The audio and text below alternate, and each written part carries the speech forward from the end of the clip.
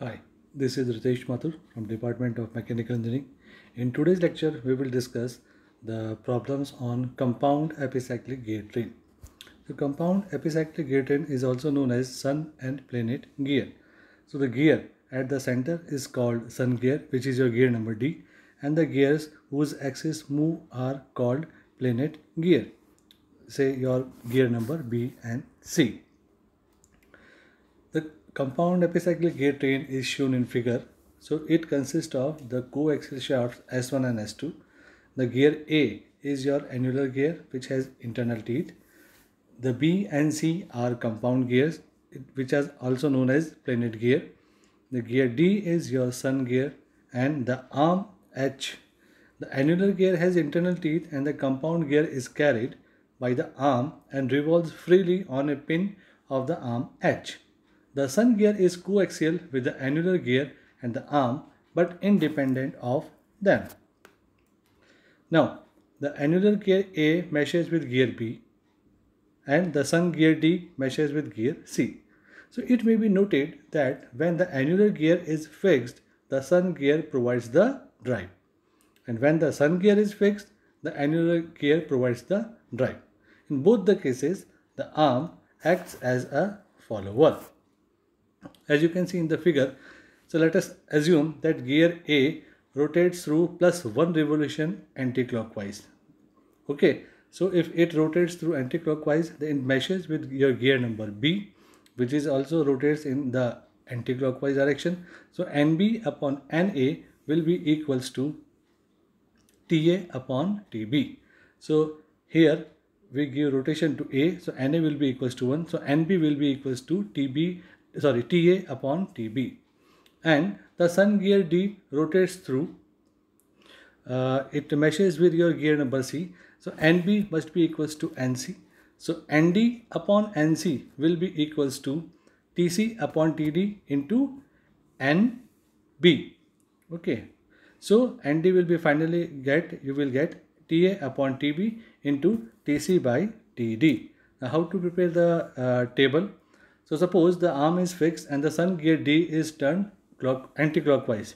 So if D rotates in the anti-clockwise then the compound gear BC and the annular gear these all will rotate in the clockwise direction. So for the first row arm fixed gear D rotates through plus 1 revolution. So for arm it is 0 for gear D it is plus 1 for compound gear, it is minus TD by TC. Why minus? Because it rotates in the clockwise direction. Then gear A, it also meshes with the compound gear internally. So the direction of compound gear BC and gear A will be same. So for gear A, it will be minus TD by TC into TB by TA. For uh, second uh, row, you will have to just uh, uh multiply this with X. For third row, we will add plus y. Then the fourth is the total summation of row number 2 and row number 3. So let us take one problem. So an epicyclic gear consists of three gears A, B and C as shown in figure. The gear A has 72 internal teeth and gear C has 32 external teeth. The gear B meshes with both A and C and is carried on an arm EF which rotates about the center of A at 18 rpm. If the gear A is fixed, determine the speed of gear B and C. So what is given? TA, TC and the speed of arm. Let us prepare the table. So in this arm fixed and gear C which is your sun gear rotates through plus 1 revolution. So arm 0, gear C plus 1, gear B it will be TC by TB and it will rotate in the uh, clockwise direction so it is minus sign for gear A, it will be minus Tc by Tb into Tb by Ta. This will be equals to minus Tc by Ta. For the second row, just multiply with x. Then for third row, just add plus y. And the addition of second and third row will gives me the fourth row. So, we will have to find out speed of gear C. So we know that the speed of arm is 18 rpm anti-clockwise. Therefore, according to table, y will be equals to 18. The gear A is fixed. Therefore, according to table, the speed of gear A will be y minus x into Tc by Ta. It must be equals to 0. By solving this, we can find out the value of x and y. Then speed of gear, according to table, it will be x plus y. So we get 58.5 rpm in anti-clockwise direction. Now speed of gear B. So according to your geometry figure, we can write that dB plus dc by 2 equals to dA by 2 or 2 dB plus dc equals to dA. So since the number of teeth are proportional to their pitch circle diameter, so instead of d, I will replace d with the t. So hence we have find out the speed, uh, the teeth on the gear B is 20. Now speed of gear according to table, the formula is y minus x into tc by tb. So by putting the different values, we will get the 46.8 rpm in opposite direction. Let us take one more problem. As the epicyclic train arrangement shown in figure, how many revolution does the arm to which the pinions B and C are attached make? Number 1. When A makes one revolution clockwise and D makes half a revolution anti-clockwise. And number 2. The, when A makes one revolution clockwise and D is stationary, the number of teeth on the gears A and D are given as 40 and 90 respectively. Okay.